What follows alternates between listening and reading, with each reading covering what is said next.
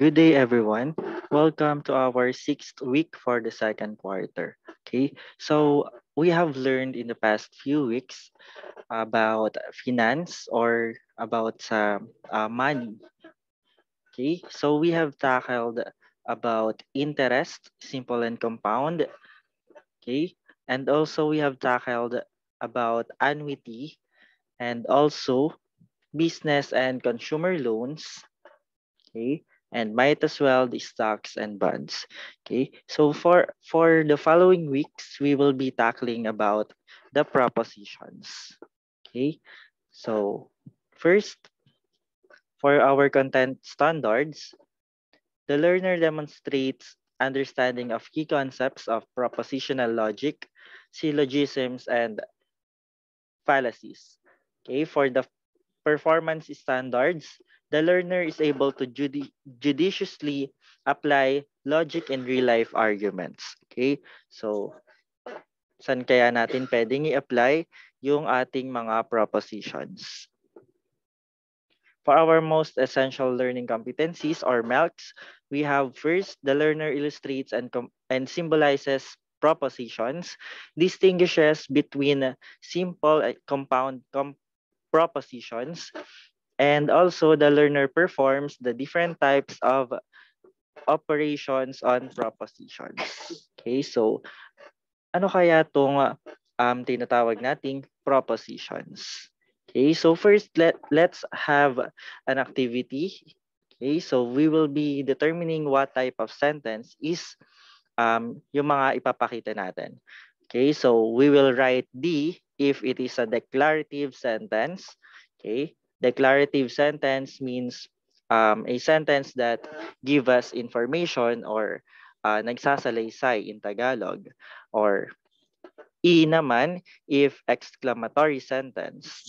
Okay, so itong mga sentence na to ay madali nating uh, malalaman dahil uh, nagtatapos sa exclamatory point. Okay? So next imperative I am naman if imperative. Okay? So uh, ito yung sentence na uh, nag-uutos. Okay, so and lastly, IN if it is interrogative. So these uh, sentences are um, are sentences that is in the form of a question. Okay, or yung nagtatanong. Okay, so for our first example, your eye is the lamp of your body. Okay, so this is D, declarative sentence. Okay? So, nagsasalaysay siya. Karaniwan, nagtatapos rin ang mga sentences na to sa dot. So, second example, when did you last hug your parents? Okay, so mapapansin natin, this is a sentence that is in the form of a question. So, this is an interrogative sentence. So IN. Next, admit your fault. Okay, so mapapansin natin, uh, this is a type of a sentence that is, okay, an imperative sentence. So since siya ay uh, nag-uutos, no? That's why siya ay imperative sentence.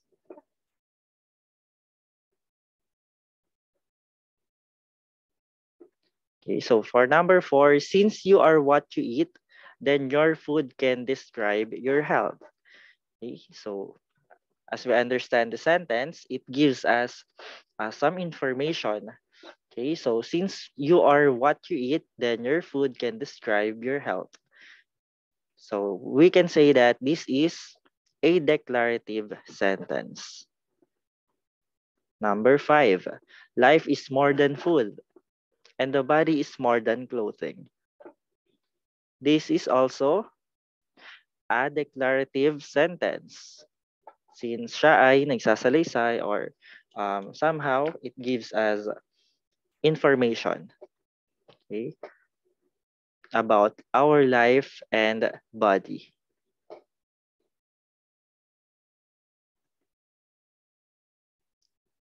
Okay, so now math involves logic. So there is logic in performing mathematical operations, in playing chess, in making decisions, in communicating with peers, and in many other activities that we do.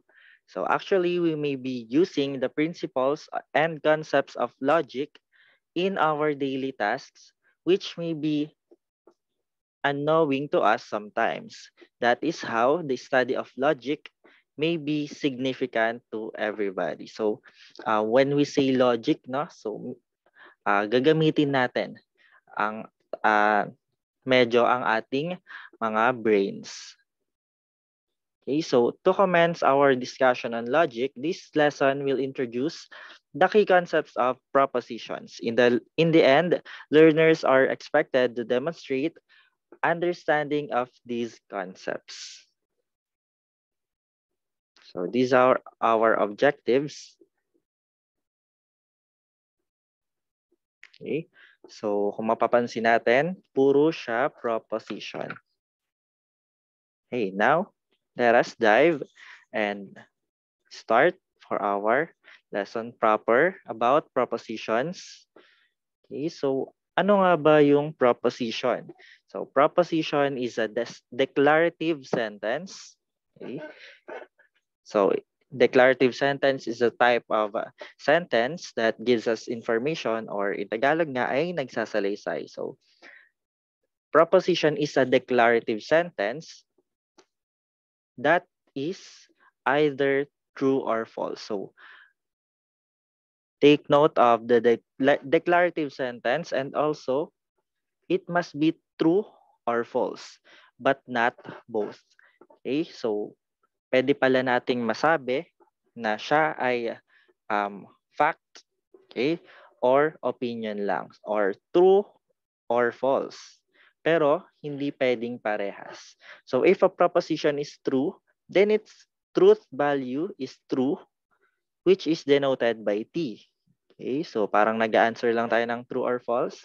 Otherwise, its truth value is false, which is denoted by F. Okay? So, ang proposition, pwede siyang maging T or F. Okay? So, depende if true or false.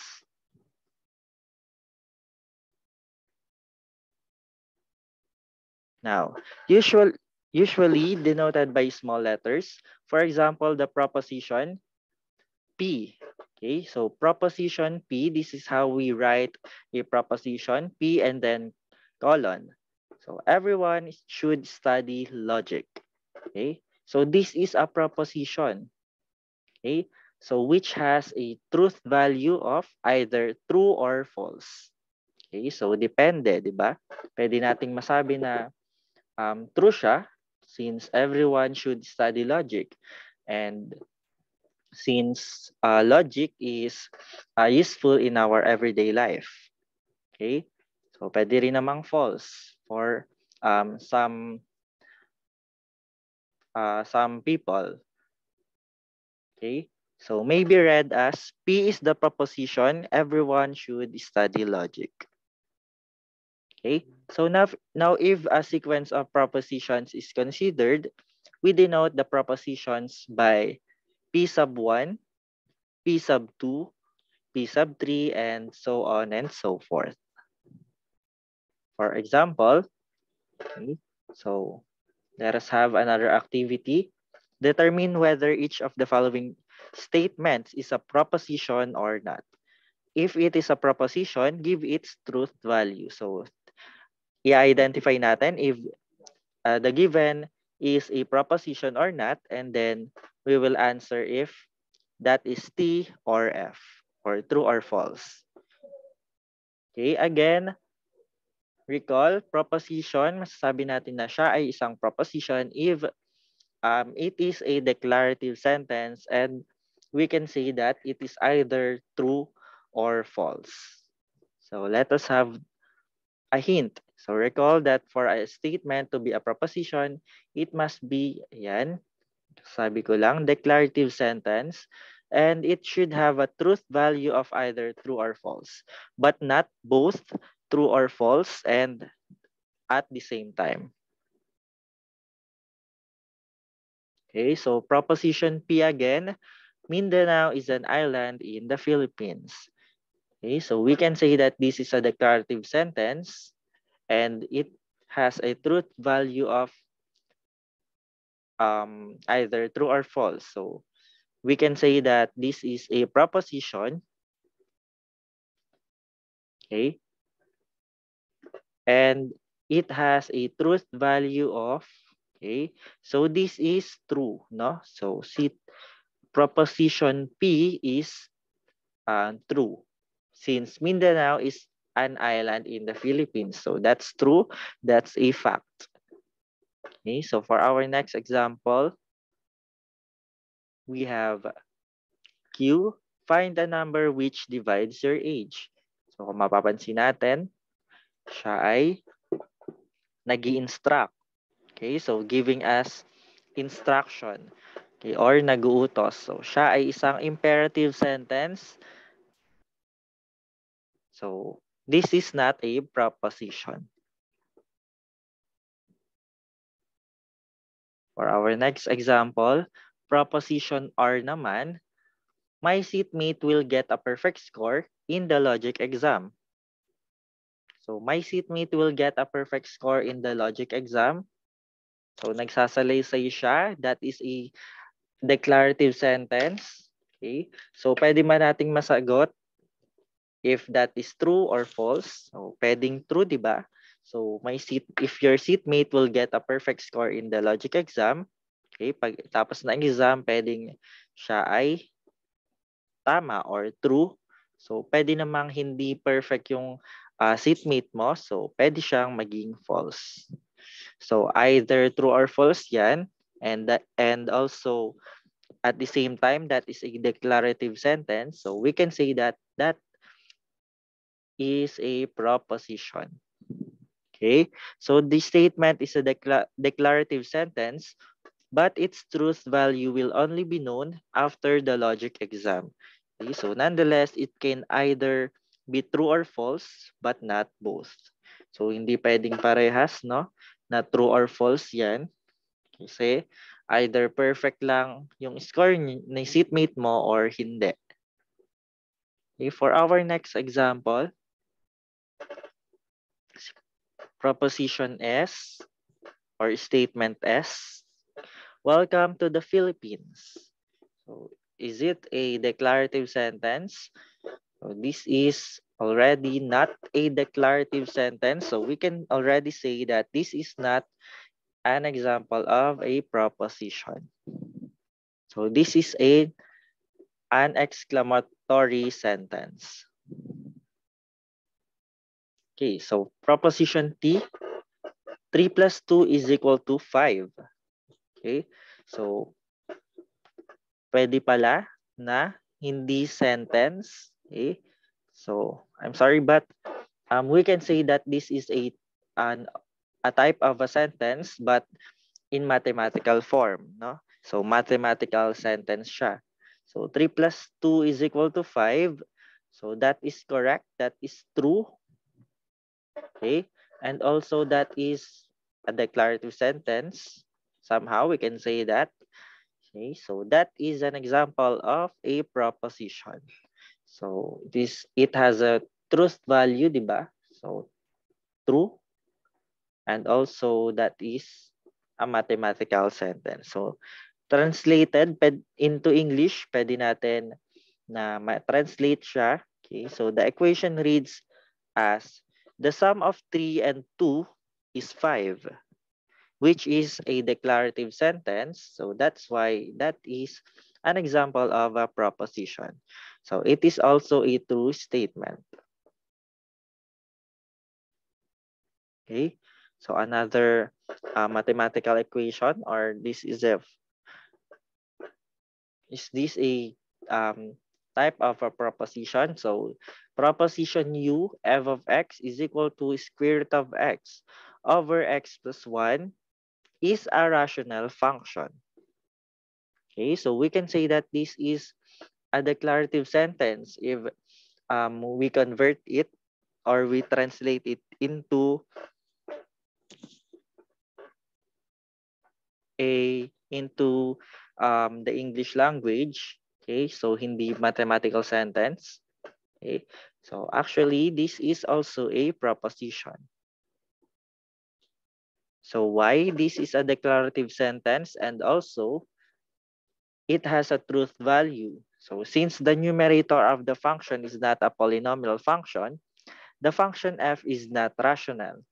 So the statement is false. So kayong malilito. No? So ang proposition pwede siyang maging true, pwedeng maging false.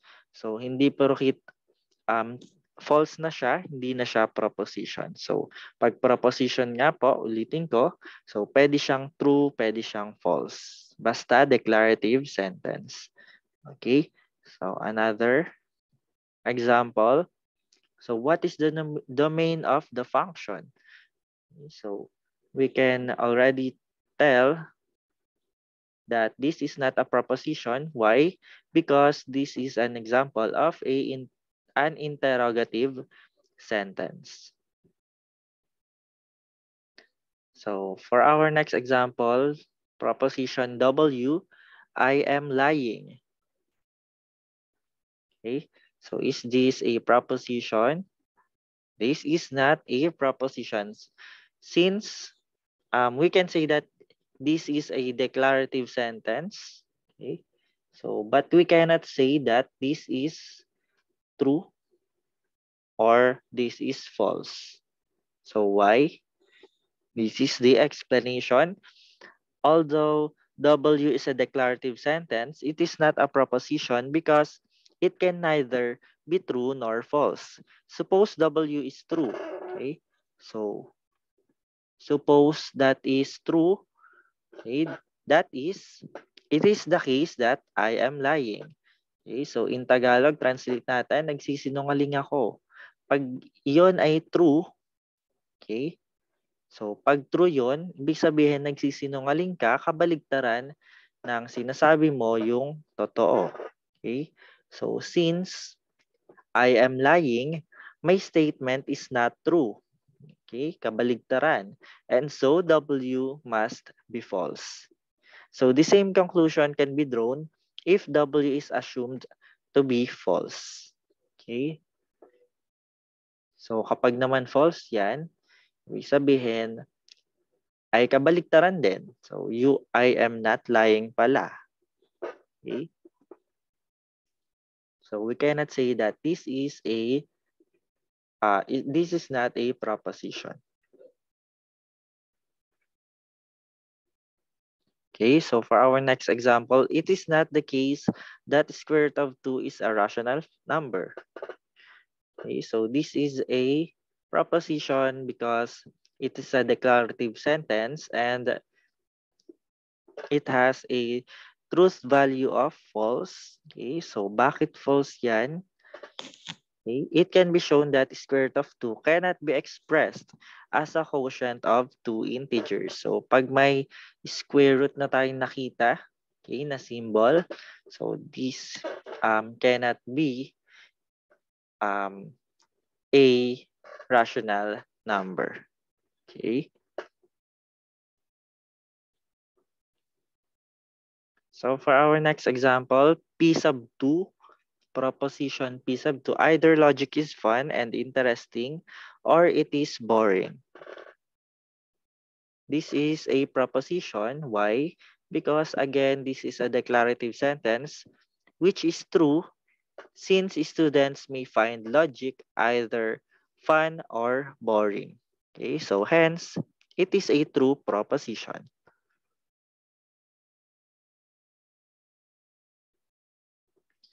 So P sub 3, if you are a grade 11 student, then you are a Filipino. Okay, also this is a proposition. Why? Because it is again a declarative sentence and it has a truth value which is false or not true. So false siya. Bakit? So hindi naman lahat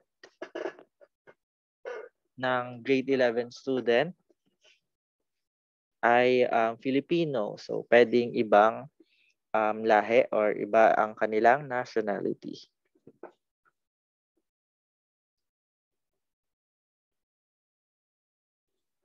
Okay, so piece of four, if you are more than 60 years old, then you are entitled to a senior citizen's card. And if you are entitled to a senior citizen's card, then you are more than 60 years old. Okay, so parang um, vice versa lang, pinagbaligtad yung dalawang sentence. So we can say that this is a proposition. Okay, so this is a true proposition.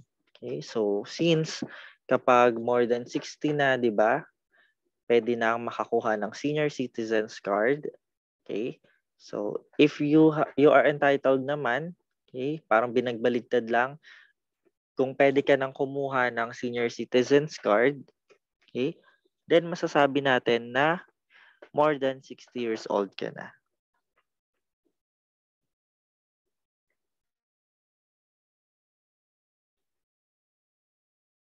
Okay, so this is also known as a biconditional statement. Since we can rewrite it as you are more than 60 years old if and only if you are entitled to a senior citizen's card. Okay, so now we will be